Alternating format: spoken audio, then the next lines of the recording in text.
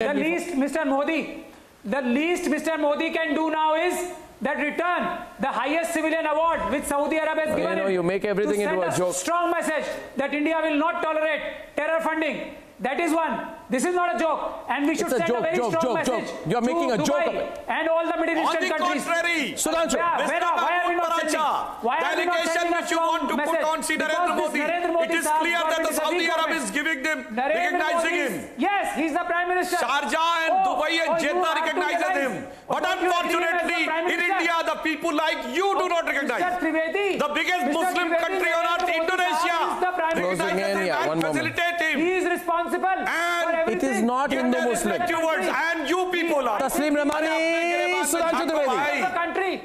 Narendra those those Muslim countries. आप Indonesia से लेके और शारजा और अबू धाबी से ज़्यादा बड़े मुसलमान हो गए वाह भाई वाह No, it's not a Hindu-Muslim angle. I'll tell you one thing.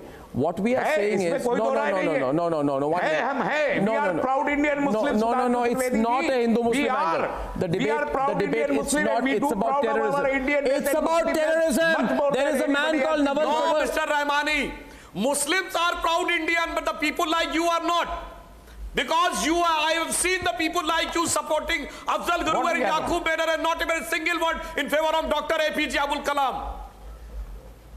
We we are I challenge we, you, you quote we are supporting the instance of the sovereignty of our country party and we will oppose everybody who is making a mockery of, of Dr. APJ Abul. Kalam. We will I we want will to- I-